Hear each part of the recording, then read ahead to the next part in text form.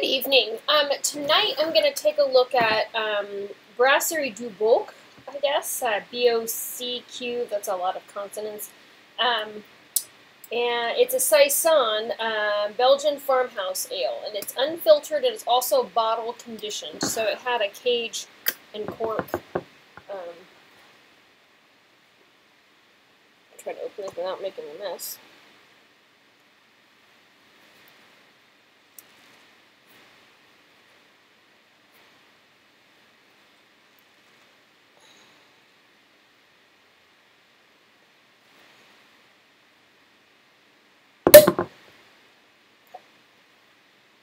I did get cat hair on it. It seems inevitable.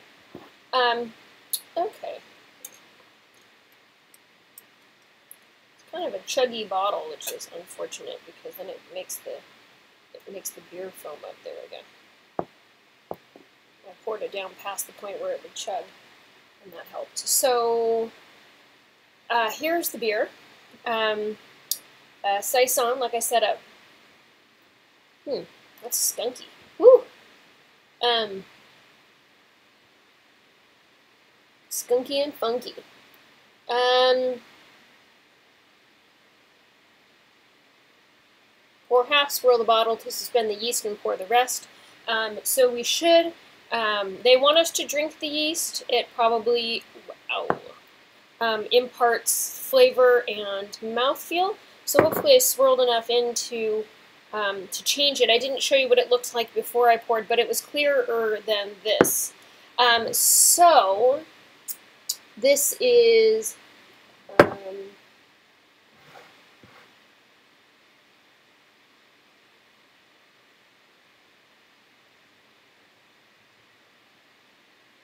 Six point four percent alcohol by volume. Um, I'm really surprised about how this smells. I mean, it really smells skunky. Which is almost, it's almost impossible to smell past that at this point. Um,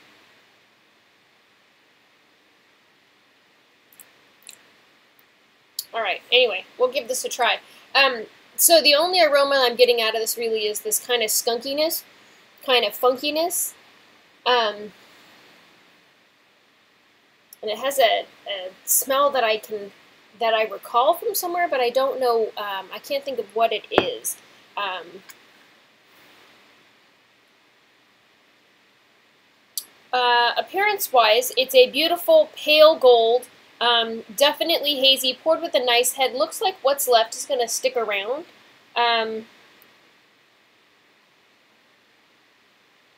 It's so hazy, I can't necessarily see carbonation, although it looks pretty carbonated. This is probably going to be pretty sparkly.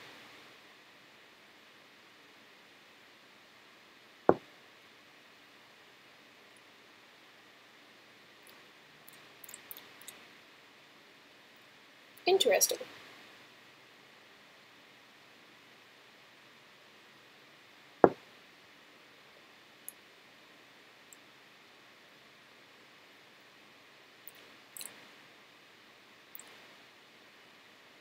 I don't even know. I don't even know what I think about this. Um, it has that skunky, funky, danky taste to it. Um,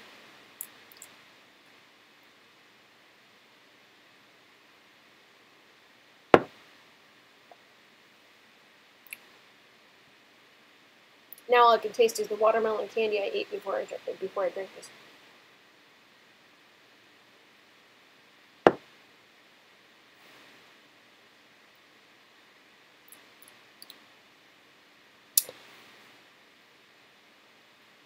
It has a very metallic taste to it, but like as an afterthought, it's almost like my lips have a metallic taste. This is an interesting beer, and I wonder if at this point it's too cold, because it was, first of all, it was in my refrigerator, and second of all, although, you know, this is why maybe, um, you're not supposed to have frozen glasses, frosted glasses. I did have this glass in the freezer, um, but I felt like having a bigger glass, not a pint glass, um, and uh, all my big glasses are in the freezer.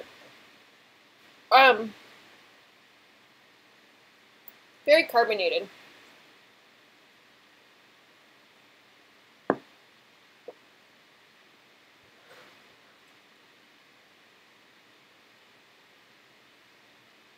Contains water, barley, wheat, hops, yeast, coriander, orange peel, licorice. Um,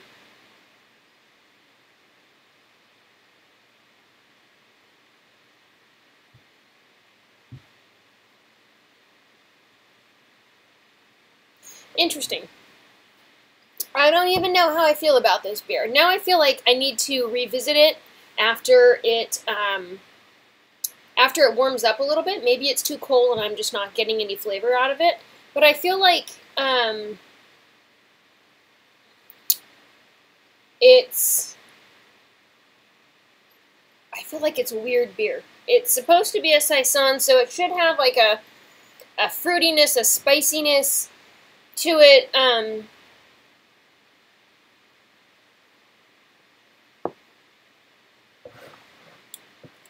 a funkiness to it. Some people might even use, gosh, was it? Some people might even describe that funkiness as like a farm, no, a horse blanket. But I don't even think that that's the funkiness I'm getting. It's just like, well, maybe, almost herbal. Um, it's weird. I don't know. I don't hate it because here I am. I've, you know, I mean, this is a big beer I poured myself, but, um, you know, I've, I've drank a quarter.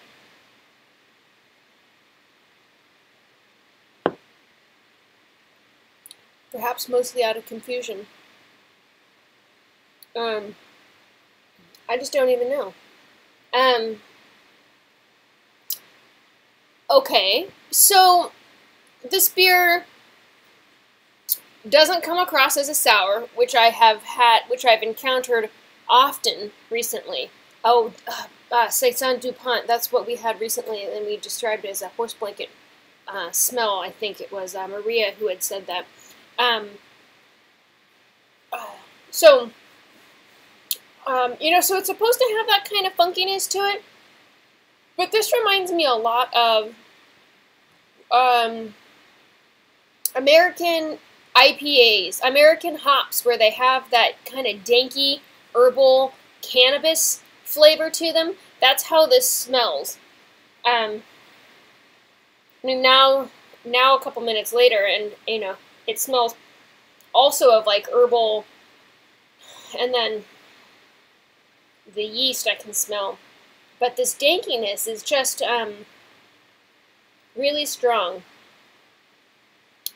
Almost a, a sour smell, you know, like um, um, not from a sour, and I have to be very careful about the use of that word now, I feel like, but not, it doesn't smell like a sour, but it has a sour smell to it, almost. Um, you know, like sour, something that's gone sour, sour sponges, uh, although that to me is horrible, I can't deal with that smell. Um,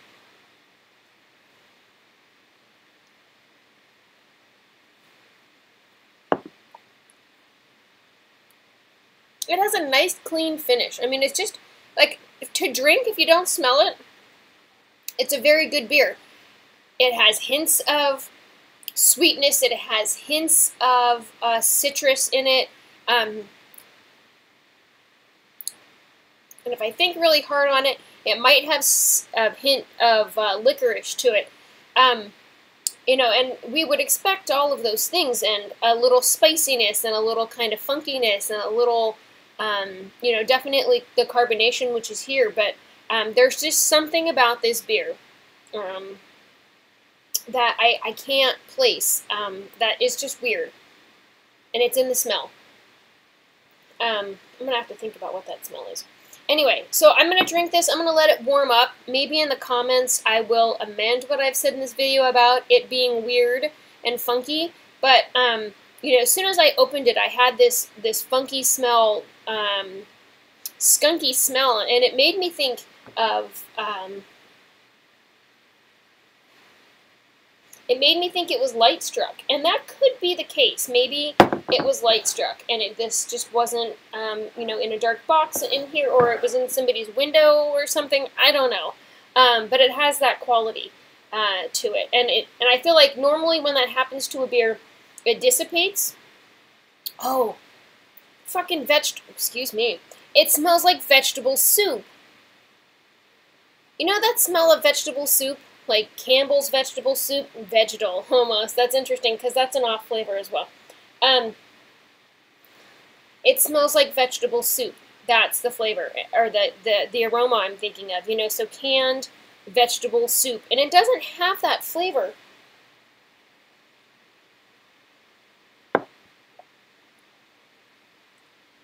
No. No, it really doesn't have that flavor, but I can definitely smell that out of there. Um, it was shocking to me to even realize that that's what what the smell was. I, I knew I had smelled it somewhere before, and it was a, a smell I was familiar with, probably a smell that I enjoy even.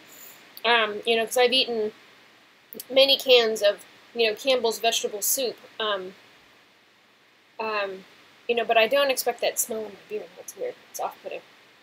Okay. This is a long, rambling video that doesn't tell you what I think about this beer, other than it's really weird. Anyway, alright, so I'll stop talking. And I hope that I, after it warms up a little bit, that I'll have something nicer to say about it.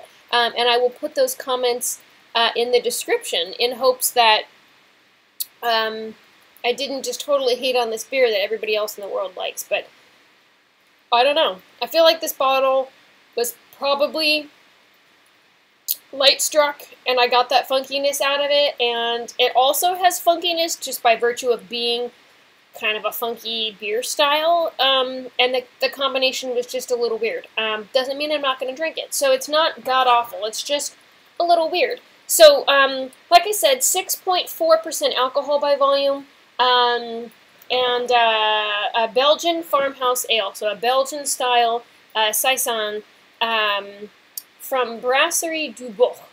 Book. There's a lot, like I said, of there's a lot of um, consonants. All right, there you have it. If this is a beer that you have had, please share with me. I would really like to hear your thoughts about it. Did you like it? Did you think it smelled funky? Did it need to warm up? Um, let me know those things. Cool. Thanks for watching. Have a good night.